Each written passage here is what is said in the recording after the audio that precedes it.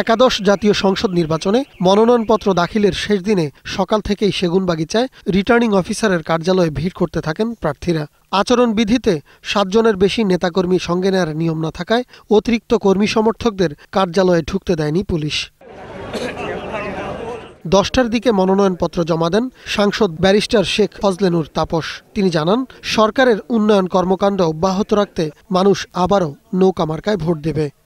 আমার এলাকার জনগণ আমার সাথে এবং পাশে থেকে আগামী নির্বাচনে আমাকে নৌকা মার্কায় ভোট দিয়ে জয়যুক্ত করবে। একে একে মনোনয়নপত্র দাখিল করেন অ্যাডভোকেট সাহারা খাতুন আসলামুল হক ইলিয়াস উদ্দিন মোল্লা সহ অন্যরা।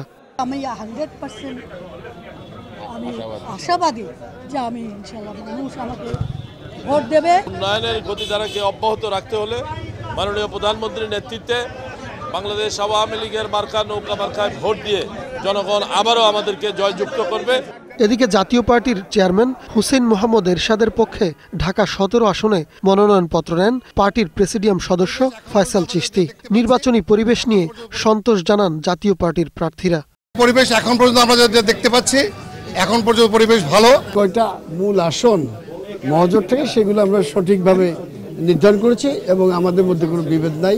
জাতীয় ঐক্যফ্রন্টের শীর্ষ নেতা ডক্টর কামাল হোসেন নির্বাচনে অংশ নেবে না বলে জানিয়েছেন গণফোরামের কার্যকরী সভাপতি অ্যাডভোকেট সুব্রত চৌধুরী। এছাড়া নির্বাচন কমিশনের বিরুদ্ধে পক্ষপাতের অভিযোগ করেন তিনি। আর নির্বাচনে লেভেল প্লেইং ফিল্ড না থাকার অভিযোগ করেছেন বিএনপির প্রার্থী আব্দুস সালাম। কিন্তু নির্বাচন কমিশনের আচরণ তাদের যে কথাবার্তা তারা মনে হয় একটা প্রশ্নবিদ্ধ নির্বাচন করার জন্য যেন তাদের দায়িত্ব দেওয়া হয়েছে। আমরা চাই যে নির্বাচনের পূর্বে আমার নেত্রী দেশনেত্রী বেগম খালেদা জিয়ার আমরা মুক্তি চাই। নির্বাচনের পরিবেশ নিয়ে অসন্তোষ জানিয়েছেন বাসদসহ কয়েকজন স্বতন্ত্র প্রার্থী। মুক্তিযুদ্ধের চেতনা জাতীয়তাবাদ এবং ধর্মীয় মূল্যবোধের ভিত্তিতে আমরা বিকল্প একটি রাজনৈতিক রাজনৈতিক শক্তি গড়ে তোলার লক্ষ্যে এবার আমরা অংশ নিয়েছি। এটা নির্বাচনের কোনো সুষ্ঠু পরিবেশ নিশ্চিত করছে না। নির্বাচন কমিশনের সাংবিধানিক দায়িত্ব হচ্ছে একটা সুষ্ঠু নির্বাচন আয়োজন করা। এদিকে সুষ্ঠু নির্বাচনের জন্য সব ব্যবস্থা নেওয়া হয়েছে বলে জানিয়েছেন ঢাকা বিভাগীয় নির্বাচন কমিশনার। এটি আমার উপরে একটি গুরুদায়িত্ব বল- বলতে পারেন একটি পবিত্র দায়িত্ব বলতে পারেন। সেই পবিত্র দায়িত্ব পালনের জন্য যা যা করা দরকার আমি তাই করব।